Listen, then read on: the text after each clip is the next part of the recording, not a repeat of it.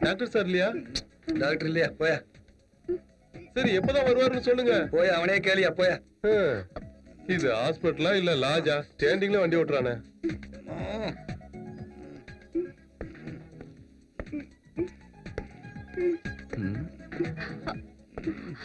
ஹேமா. ராஜசேகர். எந்த உலகத்துல இருக்கீங்க?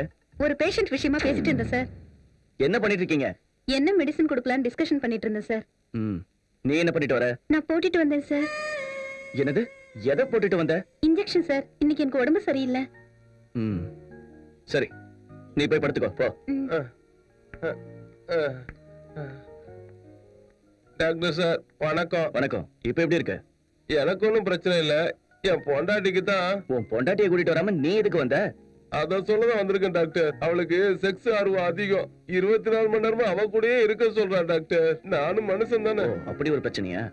அது நல்ல விஷயம் தானே?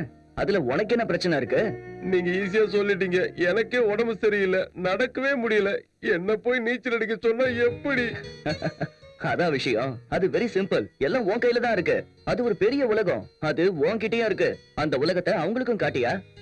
இருபத்தி நாலு மணி நேரமும் உன் கூட செக்ஸ் வச்சுக்கணுங்கிறதுக்கு அவங்களுக்கு எவ்வளவு பெரிய மனசியா?